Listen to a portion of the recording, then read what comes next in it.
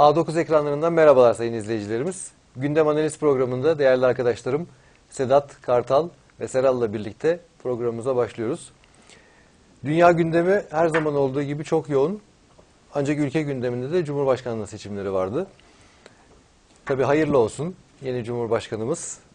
Ee, vatana, millete, ümmete e, hayırlar getirsin. Kaderde böyleyse mutlaka bir hayır vardır, bir güzellik vardır. Türkiye için bir hayır vardır, İslam dünyası için hayır vardır. Dünyada insanlık için bir hayır vardır. Hep beraber göreceğiz. Hep beraber ülkemize, milletimize hizmet etmek için e, Sayın Hocamızın 35 yıldan beri sürdürdüğü o güzel fikri mücadelesine biz de bir nebze olsun katkı olarak Allah'ın izniyle e, devam edeceğiz e, hizmetimize inşallah. Ülkemizde insanlığa hizmet ediyor. Bu kasıtla söyledim başta. Hakikaten geçmişte de Osmanlı'da da daha evvelde de e, Allah'ın e, seçtiği bir millet Türk milleti ama hizmetkar olarak sevgiye, barışa, güzelliğe seçti. Yeni Cumhurbaşkanlığı, yeni Türkiye'nin yeni gelişmesi, 2023 hedefler oluyor. Güzel hedefler bunlar. Yani insanlık için iyi. Mesela biz Suriyelileri, kardeşlerimizi alıyoruz, barındırmıyoruz. Hiçbir şeyden çekinmeden. Bu İslam ahlakının bir güzelliği. Bunu bizim yöneticilerimizin sahip olması Türkiye için büyük nimet. İslam dünyası için büyük bir nimet. İnsanlık için güzel bir örnek. O yüzden hayırlar getirsin. Tabi İslam dünyasında Irak, Suriye, Libya yani her yer karma karışık. Ama günümüzün özelliği, ayrı zaman özelliği. Ee, inşallah hepsi hayra dönecek. Fakat biz nasıl olaylara bakmalıyız, nasıl değerlendirmeliyiz, olayların gerçek yönü nedir, saklanan yönü nedir? Programlarımızın esas gayesi bu. Yani dünyada herkes, yani çok fazla böyle sohbet programı var televizyonlarda görüyoruz hep beraber. İzliyoruz da istifade ettiğimiz bilgiler de oluyor ama e, yorumu ve ileriye yönelik ne yapılması gereken gerektiği, insanlığın nasıl e, hangi güzelliklere sevk edilmesi gerektiğine dair bir şey göremiyoruz. Yani sadece Evet. Bir, bir demagoji olarak devam ediyor. Aradan bilgiler çıkıyor ama insanlığı hayra ve güzelliğe yöneltmek o bambaşka bir şey. Allah razı olsun o Sayın Hocamız Adnan Oktar bunu yapıyor ve insanlara e, çok güzel şeyler kazandırıyor. İnşallah e, bu programların da öyle bir faydası olur. Biraz uzun bir giriş oldu ama Yani nereden devam edelim? evet o dediğin ya ben şuna önem veriyorum. Bu sevgi ve şefkat konusu gerçekten çok önemli. Seçimler oldu. Ya sosyal medyada da görüyoruz. Bir sürü yorumlar yapılıyor. Her kanatta yani. MHP'de olsun, CHP'de olsun, ki parti içi muhalefetlerde olsun. Bir öz eleştiri de bir kısmında oluyor, bir kısmında olmuyor bu öz eleştirilerde de yine sevgi eksikliği var. Yani CHP de kendi içinde eğer sevgisiz bir öz eleştiri olursa bir sonuca varamaz. MHP de aynı şekilde. E, AK Parti'de de yine bir düşünmesi gereken örnekler olduğu şeyler oldu oylarıyla ilgili. Yani Cumhurbaşkanı seçildi Erdoğan ama daha yüksek de belki alabilirlerdi. Özellikle sahillerde bir tepki olduğu görülüyor. Yani oradaki insanlar özellikle bayanların bir tepkisi olduğunu yani bunu hepimiz biliyoruz. Takip de ediyoruz. Ha, bu yüzden hepsinin bir öz eleştiri yapması çok önemli ülkenin menfaati için. Ama bunda da yine sevgiyi temel alarak yani şefkati temel alıp vicdanları hareket etmeleri gerekiyor. Yoksa onunla olmaz yani. Olayı çözmeye yönelik yani alışkanlık gereği refleksle tepki değil de sevgiyle bu konuyu nasıl çözeriz, partimizi nasıl güçlendiririz diye bütün parti teşkilatlarının düşünüp bir harekete geçmesi gerekiyor. Bu zaten Türkiye'yi de geliştirecektir. Yani sağlam bir muhalefet hükümetin de işine yarıyor. Çünkü hatalarını görüyor. Daha düzgün bir yol diye yapıcı bir muhalefet her zaman faydalıdır Türkiye için inşallah. Evet. Hocamız da zaten sürekli bahsediyor. Yani bir parti içerisinde sevgisiz bir ortam olursa mesela lidere en ufak bir şeyde, en ufak bir yenilgi veya aslında yenilgi diye bir şey yok. Yani bir parti fikrini savunuyorsa, o fikrini herkese duyuruyorsa zaten her zaman galiptir. Onun fikri iktidardadır. Yani illa bir seçimi e, kazanmak, kaybetmek de sorun olmamalı. Aynı bıraktığı yerden yeni seçimler için e, canla başla çalışmalı. E, lidere bir bağlılık da güzel bir şeydir. Yani orada lider etrafına toplanmak. Öteki türlü en ufak bir şeyde hadi o lideri de düşürelim. Diğer e, ikinci bir olayda yine o lideri de düşürelim. E bu sefer halk da baktığı zaman ben bu yapıya oy vermem diyor. Yani bir sevgi, bir bağlılık göremediği bir partiye insan kalkıp hemen gönül ferahlığıyla oy veremez. Bunlar da hallolduğu zaman gerçekten çok kaliteli bir muhalefet, çok kaliteli bir iktidarla Allah'ın izniyle dünyadaki daha koşamadığımız, gidemediğimiz, ulaşamadığımız milyonlarca mazluma da daha rahat ulaşırız inşallah. İnşallah. Muhalefetler iktidarı doğurur diye bir terminoloji var. Muhalefet, yani siyasetin e, üslubunda, yani liderlerin üslubu da çok önemli. Çünkü milyonları etkileyen, yani kitleleri etkileyen bir üslup. Yani mesela bir agresiflik, bir ülkemiz dışında herhangi bir saldırgan üslup olsa o milyonlara yansıyor. Onun içinden on binler, binler, bir iki kişi bile çıkıp yani şey yapabilir. Yani insanları rahatsız edici, e, terörize eden olaylar meydana gelebilir. Hep karışıklığa neden olur. Aslında biz- bizim ülkemizdeki bütün siyasi partilerin e, belki bir tanesinin arka planındaki şey hariç e, yani genel olarak aynıdır. Sadece e, usulde farklılıklar vardır. Yani vatanın var, birliği, Evet, dirliği, ülkemizin bölünmezliği, devamı, milletimizin ferahı, özgürlüğü, demokrasi, cumhuriyet, milli manevi değerler yani sol, sağ, orta fark etmiyor. Onların hepsinde aslında bu değerler hepsi e, halkımız için idealize ettikleri değerler. Hepsinde de ortaktır aslında. Hiçbir fark Evet, yoktur. Bunu zaten PKK terör örgütü de teyit etti. Evet. Ee, en son Cemil Bayık'la bir röportaj yapıldı biliyorsunuz. Orada diyor yani AK Parti'nin, MHP'nin, CHP'nin birbirinden farkı yok diyor. Hepsinin diyor ülkenin bölünmez bütünlüğüne. Tabii onların işine gelen bir yapılanma değil bu ama bu şekilde diyor. Tam dediğin teyit eder biçimde yani söylemiş hakikaten. Gurur duyduk yani o sözden inşallah. Evet zaten öyle olması gerekiyor. Her zaman da Türk halkı, Türk milleti böyle kalacak. Duruma göre şekil alıyorlar tabii. Mesela konu oraya gelmişken, yani gerçi Cumhurbaşkanlığından yine konuşuruz da. Şimdi aynı Cemil Bayık geçtiğimiz haftalar içinde işte biz asla silah bırakmayız. Federasyondan özellikten bahsediyordu. Şimdi de federasyonu özelliği kim telaffuz etti? Bizim amacımız işte demokratik haklarımızı kazanmak diyor. Yani böyle adeta hani hocamız da her zaman söylüyor ya, Türk halkının aklıyla alay eder gibi. Duruma göre şekil, şekile göre vaziyet alma gibi bir uslupları var. Bu işit olaylarından herhalde bir hayli canları yandı ve e, bayağı tedirgin oldular. Herhalde aynı anda tekrar Türk milletini de karşı cepheye almak istemiyorlar. Çünkü şu an bütün e, sorunları şeyleri, ilgileri o bölgede gözüküyor. Suriye'de çok ciddi sorun yaşıyorlar. Bir hezimet yaşıyorlar sürekli yani her geçen gün. Daha da gerilemek durumunda kalıyorlar. Aslında Demirtaş yani üslubu, efendiliği, mizacı yani güzel sevecenliği mesela sevgiden bahsetti konuşmasında. Yani ben çoğu liderden daha iyi bir vurgu gördüm mesela orada hakikaten. Şöyle ki e, sayın hocamız ifade ettiler. E, mesela kadınlara değer verdi. Sırf ondan e, Cumhurbaşkanı seçiminde oyu yükseldi belki. Mesela Tabii hocamız ortak noktamız dedi. Evet. Hatta e, e, medyada bayağı geniş yankı buldu. Yani kadınlara verilmesi gereken değer Evet. zaten ortak noktamız dedi. O hemen dediğin gibi yankı buldu inşallah. Yani şimdi orada mesela yetiştirmiş kendini belli. Yani e, hakikaten e, mizacı da iyi, efendiliği, kişiliği ama şimdi ne de olsa oradaki insanların üzerinde hakikaten terör örgütünün bir baskısı yani mutlak var yani. Yani yok mümkün değil öyle bir şey olması. Vekil kaçırıyorlar. Bir belediye başkanının iki belediye işçisi kendi e, iç muhasebe yargılama yapıyor biliyor hesaba çekiyor. Yani bu o bambaşka bir şey. Örgütün baskısı oldu mu örgütün dikte ettiği konularda o kişiler mutlaka terör örgütü PKK'nın çizgisinde hareket etmek zorundalar. Zorunda olmazsa ya ailesine ya kendisine ya çevresine mutlaka bir zarar gelir. Yani oradan zarar göreceğini bildiği için yani mutlaka o baskı altındadır yani. Hocamız zaten Selahattin Demirtaş'ı ne işin var dedi o partinin çatısı altında. Gel dedi AK Parti çatısı altısının altında mücadeleni ver dedi. Hakikaten yani imandan, dinden, Kur'an'dan söz eden bir insan sık sık.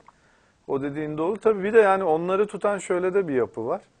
Yani komünizmin hani mahalle baskısının yanında bir de karşıda da korkunç bir bağnazlık var. Yani işitte ve benzer e, yapılanmalarda tezahür eden tezahür eden bir yapılanma var. Tabii ondan da çekiniyorlar mesela. Onu hiçbir öz eleştirisi de olmuyor bağnazlığın. Bu hafta içinde mesela Dünya Alimler Birliği e, Başkan Yardımcısı Ali Karadağ bir açıklama yaptı. Bu dedi işitin bu kadar yankı bulmasının ya da Boko Haram gibi benzer terör örgütlerinin bu derece böyle zalimleşmesinin sebebi dedi. Arap dünyasında başta olan zalim rejimlerdir dedi. Onlar dedi gençlere söz hakkı da tanımadı dedi. Başka bir demokratik çıkış kapısı da bırakmadılar.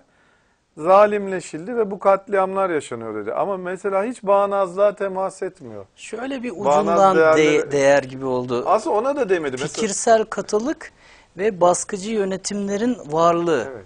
Ama fikirsel katılığa şeyi hiç sokmadı. Yani mezhepler arası fikirsel katılık, mezheplerin diğer mezheplere bakış açısı, başka cemaatlerin diğer cemaatlere bakış açısına hiç değinmedi. Oysa ki en büyük fikirsel katılık orada. Birbirlerine yaşam hakkı tanımaz bir taassubun içindeler.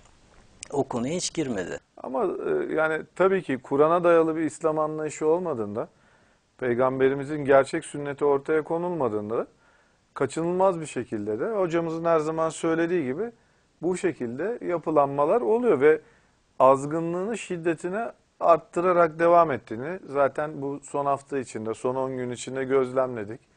Yani hiç kabahati olmayan, hiçbir zaman için kimseyle ne bir silahlı mücadeleye girmiş, ne de bir direnişe girmiş. Yani azınlık bir kültür olan Yezidilere bile korkunç zulüm edildi.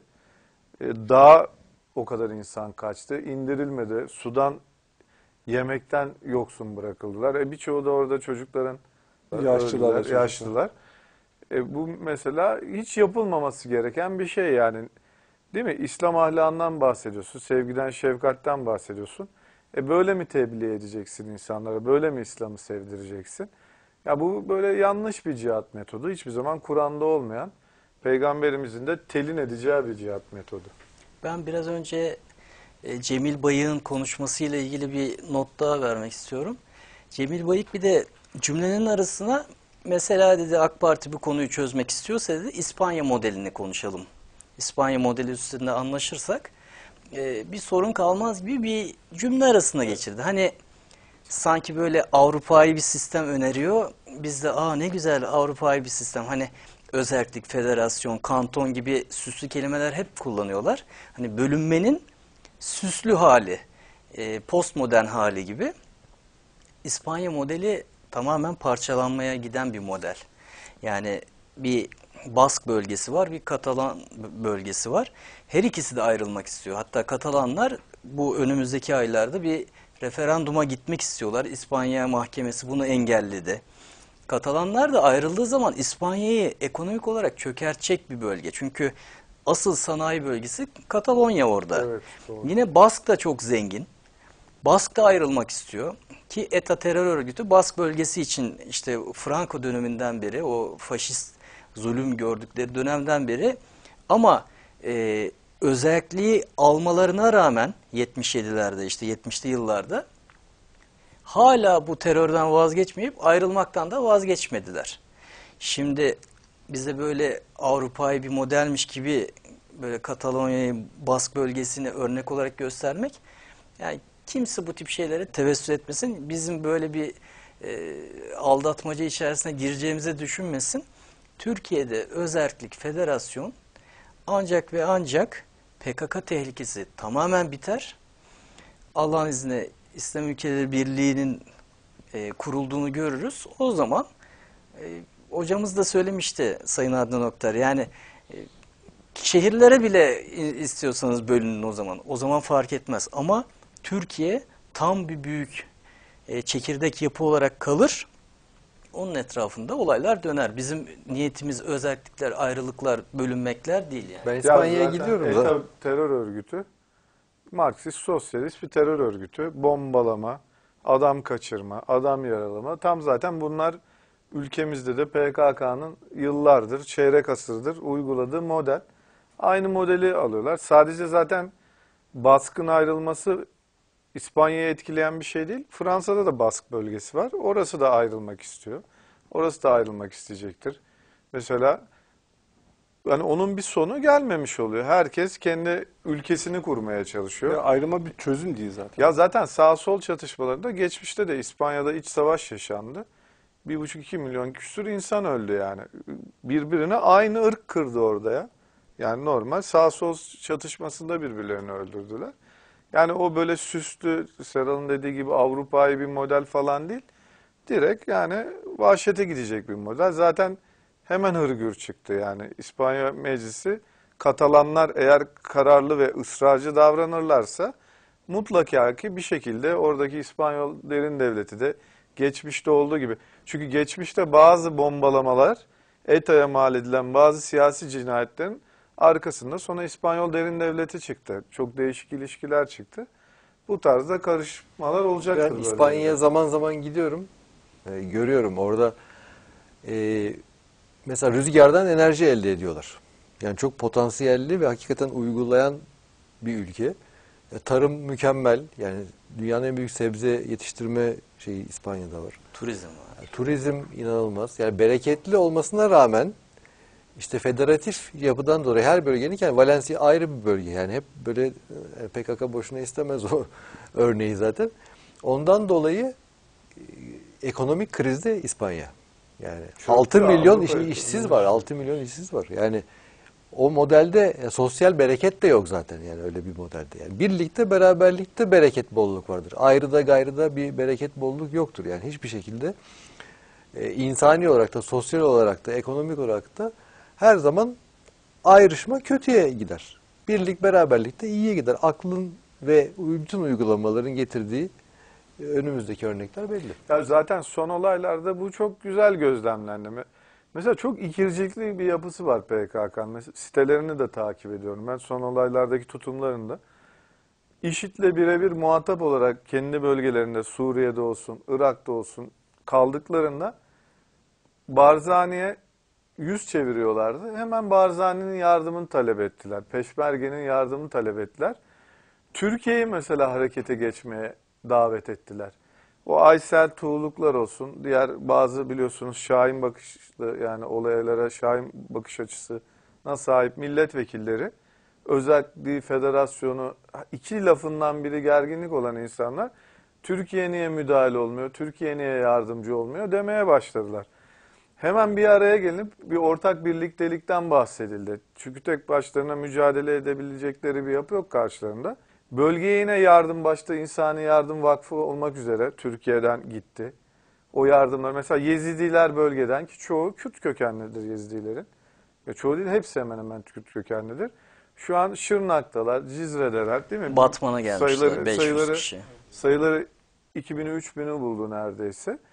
E demek ki birlikten bir kuvvet doğuyor. E, başın sıkışıldığı noktada birlikteliğe ihtiyaç duyuluyor.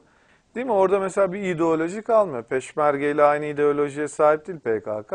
Ama beraber mücadele edebiliyorlar. E bunu bir hak üzerine, sevgi üzerine Amerikan karşıtıdır değil mi? PKK'yı biz nasıl biliriz? En temel antikapitalist, değil mi? Anti-emperyalist kendini ideolojide bir örgüt olarak nitelendirir. E, e, halaylarla karşıladılar Amerika'nın bölgede IŞİD'i bombalamasını. Değil mi? Günlerce haber yaptılar. Değil mi? Her gün işte Amerikan uçaklarına, değil mi? Sen yıllarca Amerikan karşıtı bir söylemdeydin. E demek ki yani bu birliktelik tesis edilebilecek bir birliktelik. Ve bütün halklara da bereket getirecek tek birliktelik. Yani Kartal'ın da başta söylediği gibi sevgi, şefkat, merhamet üzerine bir İslam birlikteliği Ya aslında birliktelik olunca hocamızın dediği gibi silaha da gerek kalmıyor. O zaman kavgaya da gerek kalmıyor. Temelini sen maneviyata, sevgi ve şefkate kurduğun zaman e, o Suriye sakinleşmiş oluyor. Irak sakinleşmiş oluyor. Orta Doğu sakinleşmiş oluyor. E bu tabii doğal, doğal olarak Afrika'ya sirayet ediyor. E bütün dünyada bir huzur gelmiş oluyor. E sen zaten silahı harcamayınca bu sefer insana harcıyorsun. insanın kalitesini harcıyorsun. insanın beslenmesine, eğitimine, yaşam standartlarını yükseltmeye harcıyorsun. E, bu da daha çok bir huzur getiriyor. Çünkü şu anki pozisyonda o oraya saldırıyor, onun enerjisini almıyor, petrolünü almıyor. Öteki diğer tarafa saldırıyor, onun gıdasını almak için. Aslında bu ürünler, bu yani bu nimetler herkese yeter. Gani gani yetiyor.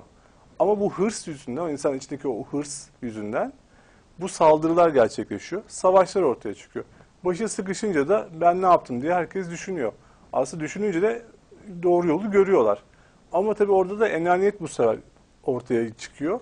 Karşılıklı ilişkiler, barışmaya çalışmamak, kendini daha üstün göstermek. Ya silahla konunun çözülemeyeceğini zaten hocamız her seferinde anlatıyor, söylüyor. Çünkü sende silah varsa karşı tarafta da silah oluyor. Herkes sürekli milyar dolarlarca silaha para yatırıyor. İşte bu son olaylardan sonra Irak hükümeti de hatta e, Kuzey Irak'ta Amerika'dan belli silahları istedi. Ama mesela Amerikan Başkanı Sayın Obama olsun, Amerikan üst düzey genel kurmay komutanlar olsun şöyle diyorlar.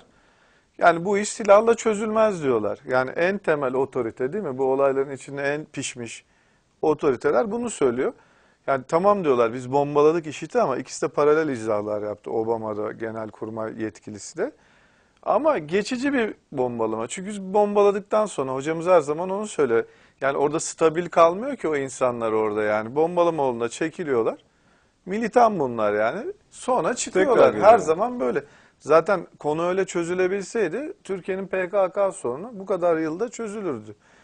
E, bombalıyor tekrar aynı insanlar geliyor ve çok hızlı hareket ediyorlar. Çok organize hareket ediyorlar diyorlar. Yani burada belli biz bir süre belki hani Erbil'den kendi menfaat alanlarımızdan, petrol alanlarından uzak tutabiliriz ama İran genelinde nereye saldırırlar, orada nelere bunu biz garanti etmiyoruz.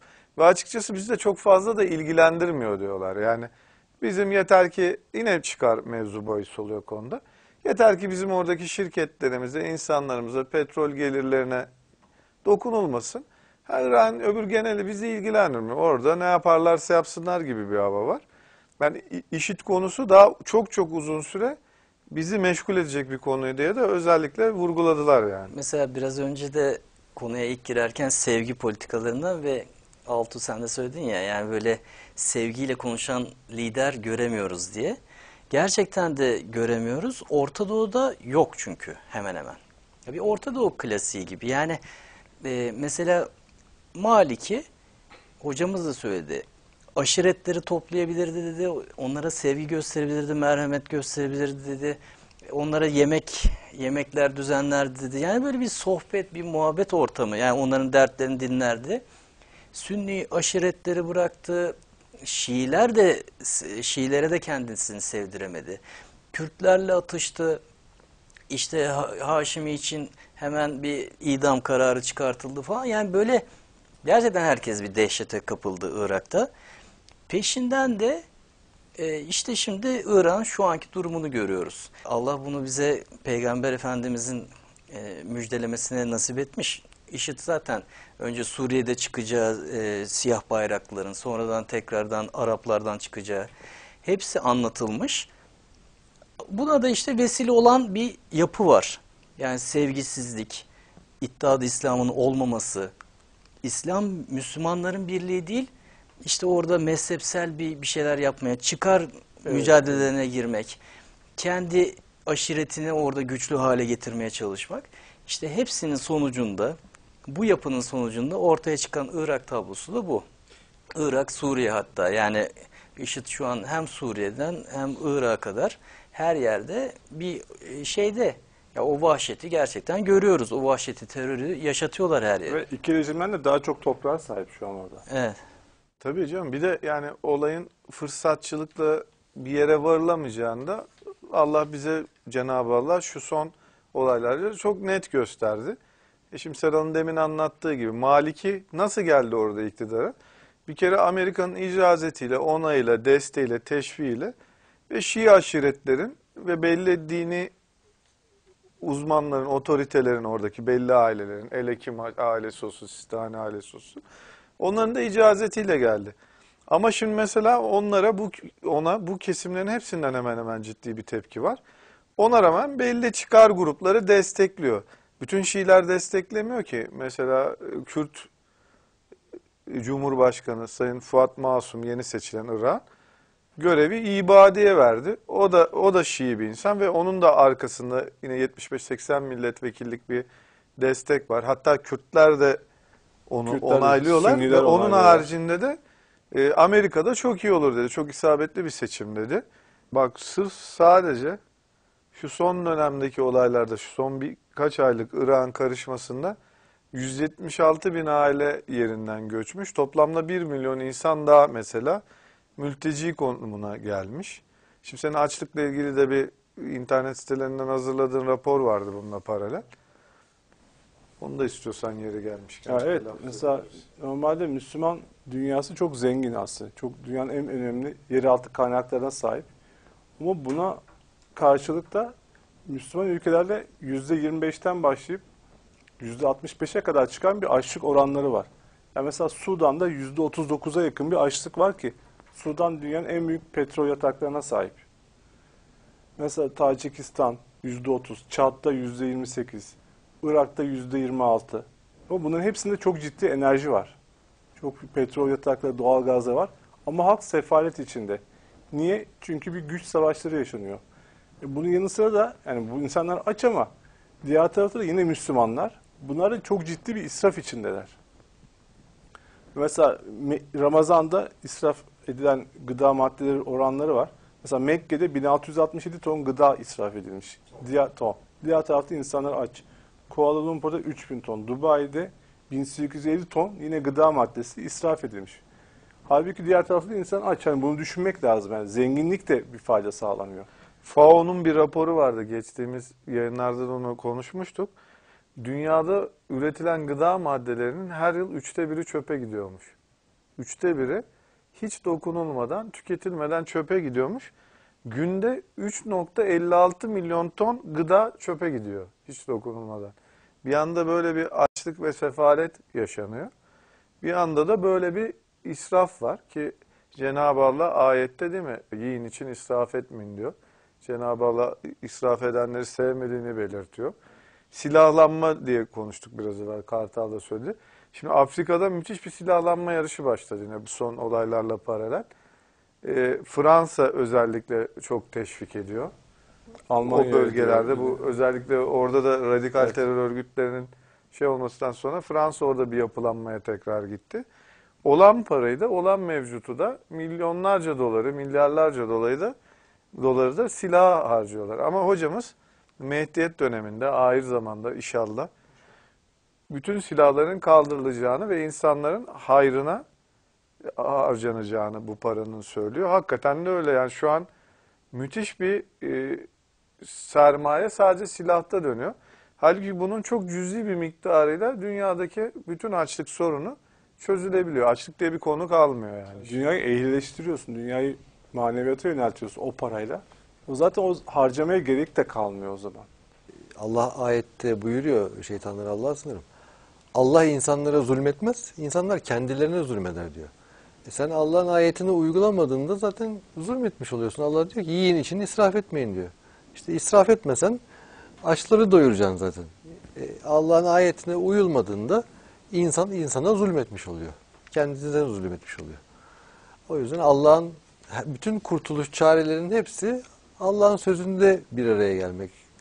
Kur'an'da Allah her türlü çözümü, sorunu güzelliğiyle, sevgiyle, şefkatle, birlikle, beraberlikle hepsinin olacağını söylüyor. Mesela kavga dövüşten bahsediyoruz. Mesela Libya örneği var. Libya'da çok ciddi enerji kaynakları var. Ama rafinerisi, en büyük rafinerisi üretim yapamıyor bu iç savaşta, iç karışıklıktan dolayı. Başka bir rafineriyi, başka bir e, terörist örgütlerden biri ele geçirmiş. Hükümet ma- mali krizde. Hatta sen orada konuda birkaç şeyin de vardı güzel. Evet yani e, Libya zaten e, şu an Hafter en son darbe yaptı. Ama bunu Bingazi'de işte birçok operasyon hareketleri yapıyor. Hatta son olarak Mısır'a kaçtığı söyleniyor. Yani herhangi bir e, kameralar karşısına geçip bir açıklama da yapmıyor. Trablus karışık. Trablus e, batıda, Bingazi doğuda. Bingazi genel olarak İslami örgütlerin eline geçtiği söyleniyor. Ee, orada işte Hafter'e bağlı e, şeylerle, askerlerle ve aşiretlerle bir savaş var. Sürekli devam eden. Bu arada Mısırlılar kaçtı. Trablus civarından ve batıdan Tunus'a kaçtılar. Bu Mısırlı birçok işçi vardı. Yaklaşık hatta kaçanların sayısı Tunus'a 20 bini aştığı söyleniyor. Ee, Mısır uçakları Libya içlerinde birkaç yeri bombaladı. Libya içinden gelen Mısır'a karşı e, savaşacağını söyleyen insanlar Mısır'da sınır karakolunu bastılar. İki yıl üst üste oluyor bu. Ve Mısır Libya'ya gireceğini söylüyor şu an. Eski Arap Birliği e, şeyde sekreteri de Amr Musa da kendi, o da diyor yani girsin diyor. Hatta Hafter şey diyor. Eğer Mısır Libya'ya girerse ben de ona yardım edeceğim diyor. Yani böyle karman çorman bir halde şu an Libya'nın Mısır durumu. zaten kendi ekonomisini tamamen şu an bazı kendisini destekleyen körfez ülkeleri ve Amerikan hibeleriyle ayakta tutuyor. Orada Mısır'ın girmek istemesinin sebebi o da ucuz bir uyanıklık. Libya zengin bir petrol bölgesi olduğu için Zaten yani orada bir yakınsın var. adaleti, barışı sağlamaya yönelik değil de iç barışı, kardeşliği. Onların üzerine böyle bir mirasçı gibi oturmaya yönelik. Halbuki hiçbir batılı ülkede, hiçbir büyük devlette sana o izni vermeyecektir. Oraya girdiğinde de çok ciddi bir karşılık bulup bu sefer de ne olacak? İki kardeş ülkeyi, Mısır'la Libya halkını birbirine kırdırmış olacaksın. İki Müslüman devleti. Hani bütün programlarda konuşuyoruz ya, hocamız da her zaman söylüyor ya. Daha hocamız bu istatistiki değerler tam olarak telaffuz edilmeden evvel ve Sayın Diyanet İşleri Başkanımız da dünyada her gün bin Müslüman ölüyor. Bunun da 900'ünü Müslümanlar birbirini öldürüyor demeden evvel ne İsrail'in Müslümanlara bir şey yaptığı var demişti hocamız ne Amerika'nın Müslümanlara. Müslümanlar birbirini kırıp geçiriyor demişti. Hakikaten yani mesela İsrail Filistin arasında çok müessif olaylar oldu. Acılar, zulümler yaşandı. Toplamında 2000 kişi öldü. 2000 kişi zaten bu istatistiki değerlere göre dünyada iki günde öldürülen Müslümanların birbirini katlettiği insan sayısı, şehit ettiği insan sayısı. Yani o kafayla zaten bir de şu çok önemli. Demin konuları konuşurken şu aklıma gelmişti. Hocamızın söylediği. Hocamız her zaman ne diyor? Hiçbir zaman sahte bir mehdiyet hareketine Allah, sahte bir e, bu tarzda bir çıkışa izin vermez diyor. Mutlaka başına her ülkede bela getirir diyor.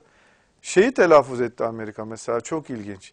Obama üzerine bastıra bastıra söyledi. Hatta bazı gazetelerde başta Yeni Şafak olmak üzere Amerika'nın hilafet çıkışı diye bu yayınlandı. Biz dedi bu tarzda bir anlayışa dedi, bu tarzda bir radikal anlayışa, böyle insanlara zulmeden baskıcı bir anlayışa dedi, hilafet def, de, e, devleti dedi, Irak'ta da Suriye'de de kurdurmayız dedi. Bak bu çok önemli yani. Bu şekilde bir hilafet anlayışı. Hilafete karşıyız demedi. Bir İslam Birliği istemiyoruz demedi. Müslümanların bir araya gelmesini istemiyoruz demedi ki el altından her zaman Amerikan devletinin hatta Rusya'nın Putin bunu açık açık söylüyor. İslam Birliği'ni destekliyor. Avrupa'nın bunu istediğini zaten İslam ülkelerinin de kalbinde olan İslam halklarının bir birlikteliği, İslam birlikteliği bunu söyledi. Bunun hemen arkasından Vatikan'da Dinler Arası Diyalog Bakanı Kardinal Jean-Louis Toran da dedi. Yani dedi biz dedi bu tarzda bir hilafet anlayışını istemiyoruz dedi. Böyle bir çıkış, böyle bu tarzda özellikle Hristiyanlara zulmeden, Hristiyanları kırıp geçiren bir yapılanma asla istemiyoruz dedi ve Türkiye'ye atıfta bulundu. Mustafa Kemal Atatürk dönemindeki hilafet düzenlemesine atıfta bulundu. Gerçi orada bir eksik bilgisi var. Çünkü hilafet hiçbir zaman tam olarak kaldırılmadı. Türkiye Büyük Millet Meclisi'nin değil mi manevi şahsında şu an şey oluyor. Zaten Atatürk'ün e, vasiyeti var biliyorsunuz. Her zaman telaffuz edilir. Onun da ileriki yıllarda açılmasını bekliyoruz. Orada da İslam Birlikteliğine Gazi Hazretleri'nin vurgu yaptığı, istediği.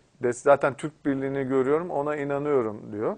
Ben bunu diyor e, ömrümde görmesem de ileride bunun diyor hülyasıyla değil mi hayata inşallah gözlerimi yumuyorum diyor.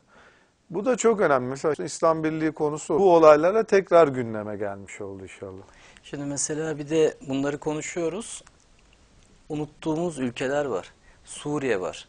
Mesela Halep'te şu an yeni bir tane şey açıklandı. Ee, oradaki insan hakları örgütlerinin açıkladığı rakamlar var. Son 6 ayda Halep'te 2500 tane varil bombası atılmış. Yani çok ciddi bir rakam. Son 6 ayda 2500. Halep zaten şu an tamamen yıkık bir şehir. Yani bir deprem komple bir atom bombası bir şehri komple yıkılmış gibi. Resimlerine bakanlar görecektir. Ve sırf bu saldırılarda 700'den fazla kadın ve çocuk başta olmak üzere 1849 kişi ölmüş.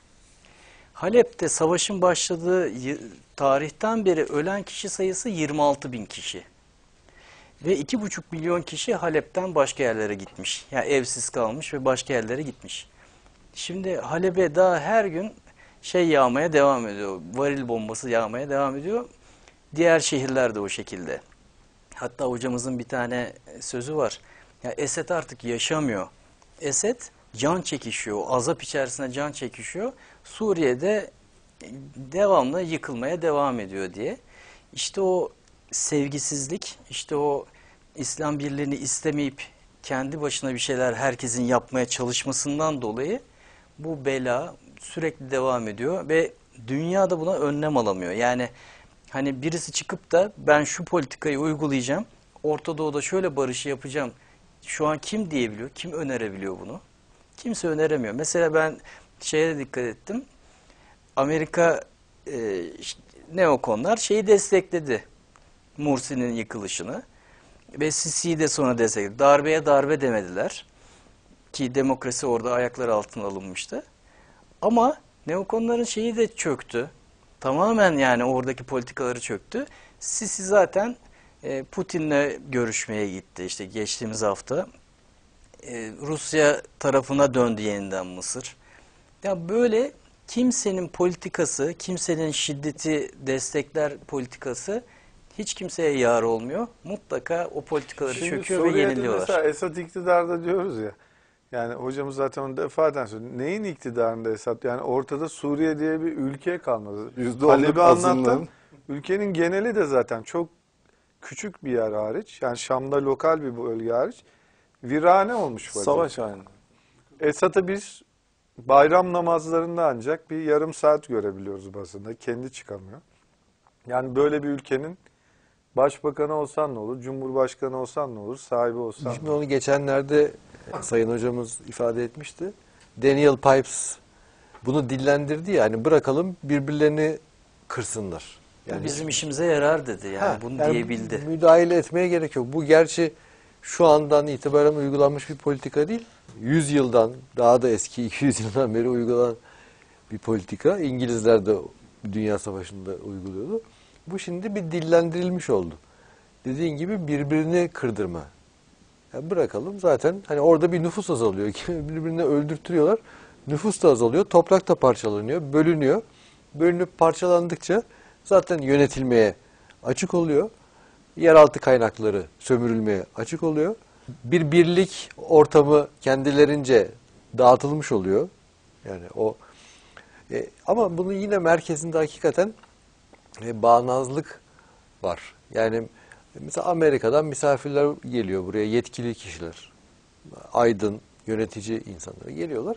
Buradaki gerçek Kur'an'a dayalı İslam kendilerine anlatıldığında, modeli de gördüklerinde biz İslam böyle tanımıyoruz diyorlar mesela. Bunu Amerika'da işte düşünce kuruluşlarına gelin anlatın, işte şunlara politikacılara anlatın, bilim adamlarına anlatın diyorlar. Onlar orada işit benzeri bir model gördükleri ve İslam'ı da öyle zannettikleri için e, bizi öldürecekler bunlar belli ki birbirlerini öldürüyorlar. Bizi de öldürecekler.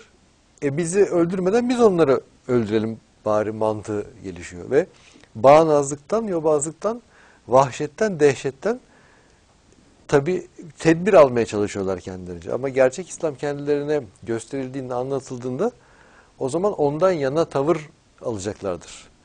Onu çözemiyorlar. Yani şimdi mesela bu biz son bu işit yapılanmasında neyi gördük? Avrupalı cihatçılar diye bir kavram değil mi? Zirve yaptı. Suriye'de başlamıştı bu söylem. Şimdi işitte tam net bir şekilde Irak'ta bu tezahür etti.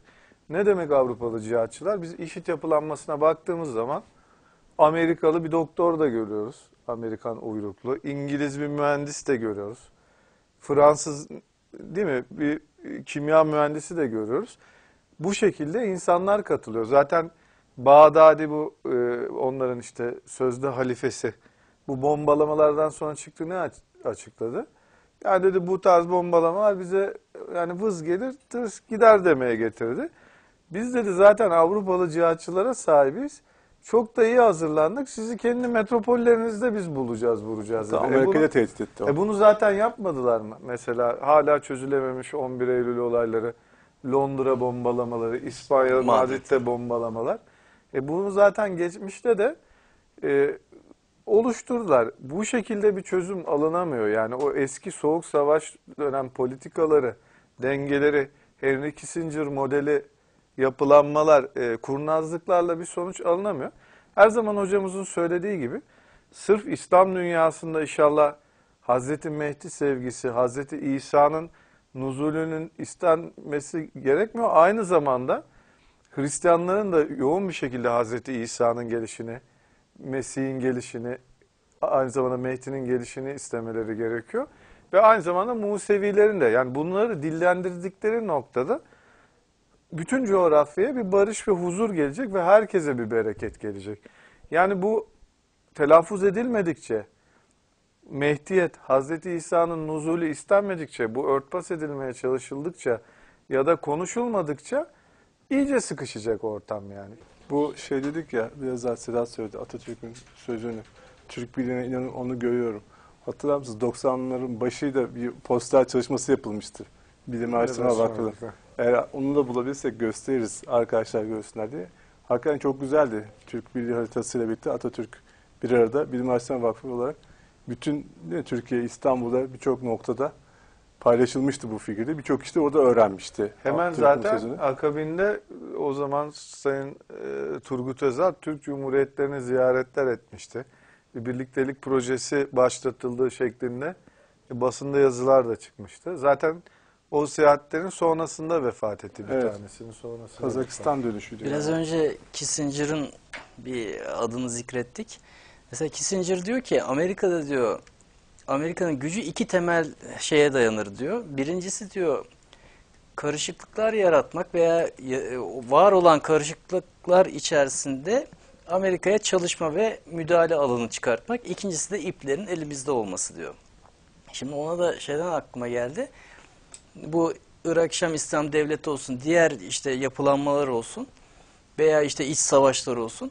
Hep bir komplo teorileri üretiliyor. İşte e, şöyle gizli servisler bunu yaptı, işte Batı geldi bunu yaptı, emperyalizm geldi. Tamam, gelmiyoruz demiyorlar zaten. Sen birbirine düşmeye meyyal olursan onlar da geliyor seni birbirine düşürüyor. Sen zaten onlar gelmese de birbirine düşüyoruz, dü- düşüyorsun. Orada onlar sadece olayı daha da fazla kışkırtmış oluyorlar. Sen eğer birlik olursan, kardeş olursan, birbirine sevgiyle, hoşgörüyle yaklaşırsan, anlayışla yaklaşırsan, o zaman dışarıdan kimse gelip senin o ayrışmanı arttıramaz. İşte e, kendisine müdahale alanı bulamaz. Müdahale ettikten sonra da ipleri kendi eline alamaz. Mesela şu an Amerika gerçekten işte IŞİD'in şeylerine e, IŞİD'in bir, şeylerin bombaladı. Ve diyorlar biz bunu bitiremeyiz diyorlar. Aslında onlar da tecrübe kazandılar bu konuda. Yani çünkü Afganistan'a girdiler. Hiçbir şey elde edemediler. Afganistan'dan şu an çıkıyorlar.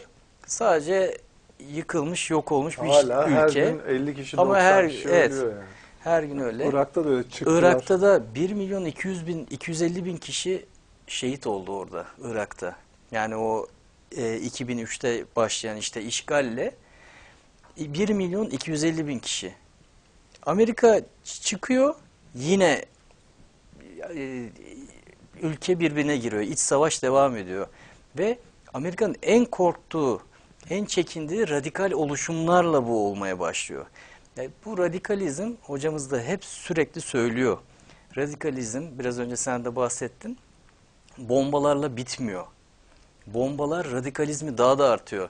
Irak Şam İslam Devleti bir tane elemanını kaybetse bin yeni Irak Şam İslam Devletli e, insan e, buluyorlar.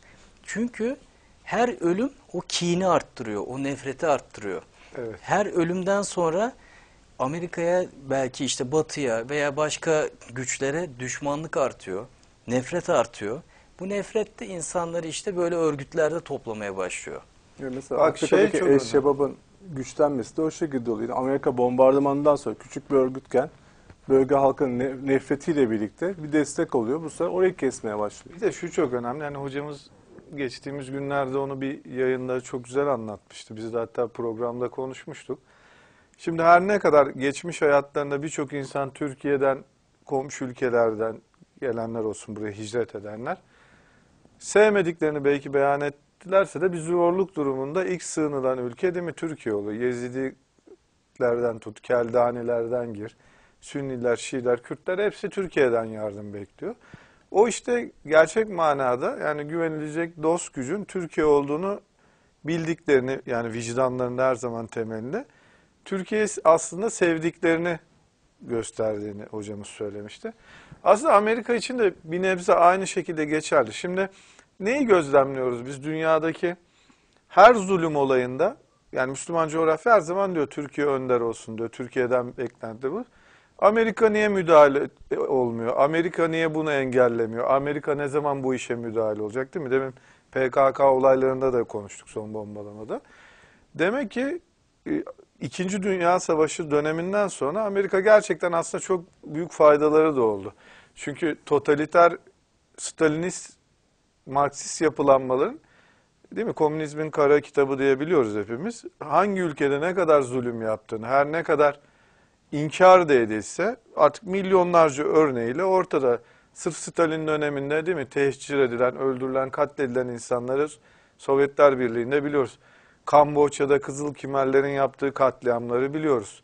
Benzer coğrafyada değil mi? Çin'de Tabii. hala ya mesela Çin şu, şu an değil mi sosyalist bir devlet olarak görmüyor kendini. Hala Doğu Türkistan'da değil mi? Binlerce soydaşımıza Köy ne köy zulümler yapıldı, öldürüldü, köylerin haritadan silindiğini biliyoruz. E şimdi normalde zaten böyle Allah esirgesin, böyle yapılanmalar dünyada hakim olsaydı, e, sırf Amerika olmasaydı bunlar dünyanın genelini ezip geçecekti. Biz böyle George Orwell'in Büyük Birader Bizi izliyor filmlerindeki gibi totaliter tek yapıda, tek kıyafette insanlar olacaktık dünyada. Nasıl Kuzey Kore örneğini görmüyor muyuz? Saç modellerini bile devlet belirliyor. İnsanın ne yiyeceğini devlet belirliyor. Kimle evleneceğini devlet belirliyor. Neredeyse. Ne müzik dinleyeceğin, dinleyemeyeceğin, kaçta yatacağı, askeri maaşlarla sabah köründe kalkıp işe gideceğin devlet belirliyor. Yani Amerika'nın bu hakikaten iyi niyetliler. Hocamız da her zaman söylemişti. Amerikan halkı dindar bir halkta, iyi niyetli bir halkta. Yani gerçekten güzel bir demokrasi anlayışları da var.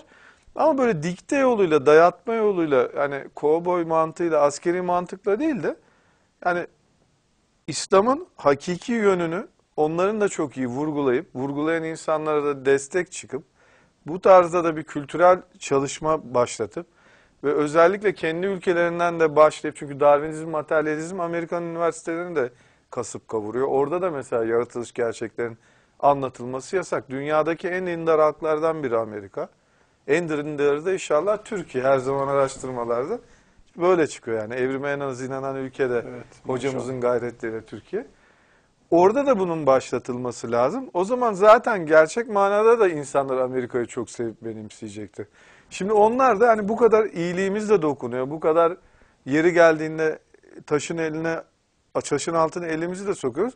Ona rağmen bu nefret, bu kin niye diye algılamakta zorlanıyorlar. İşte bunun da en güzel metodu güzel anlatım, güzel insanlarla temas kurmak, birliktelikler bir araya gelmelerden yatıyor. Yani bu bombalamalardan yatmıyor. Evet, iyilerin ittifakı e, Kur'an'ın bize emrettiği bir şey. Yani inananların birlikte olması, Müslümanlardan, Hristiyanlardan, Musevilerden, samimi iman edenlerin e, savaşa, vahşete, yobazlığa, inançsızlığa, dinsizliğe, insanları felakete sürükleyen şeylere karşı beraber e, inanca dayalı, kültürel, imani e, ittifak etmeleri. Çünkü her ülkenin yani bir ülke tamamen iyi, kötü bir- diyemeyiz. Yani ülkenin içinde iyi insanlar da var, kötü insanlar da var. George Orwell'ın bahsettiği Big Brother 1984 kitabı yani 1984 kitabında Big Brother'da artık o boyuttadır ki baskıcı rejim düşün suç diye bir şey vardır. Yani sen kafanda bir mekanizma vardır romanda. sen yanlış bir şey yani sistemin sana dikte ettiğin dışında bir şey düşündüğün anda hemen gelir güvenlik birimleri alır seni götürür. Ya düşünemezsin de. Düşün suç. Ya düşünce suçu yani. Dolayısıyla hakikaten öyle totaliter rejim olur. Yani hem komünizm onu getirir. Dünya örnekleri dolu. Hem bağnazlık Evet. ve yobazlık da aynı sonucu getirir. Her ikisi de çok tehlikeli.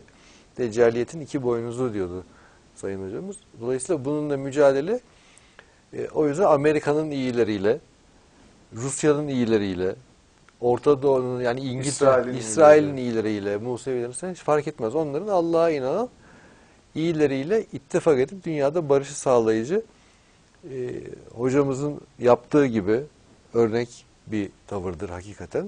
Yani bu konuda hiçbir diğer düşünceler taassup düşüncesidir. Yani başka bir şey değildir ve Kur'an'ı iyi anlamamaktır. Yani Kur'an'da hepsinin yeri var. Yani Hristiyanlarda evlenilebildiği, yemeğinin yediği değil mi? Yani her ne özgürlükte neler yapabileceğini ortak bir kelimede gelin anlaşalım diyor. Değil mi? Allah'ın varlığı, birliği.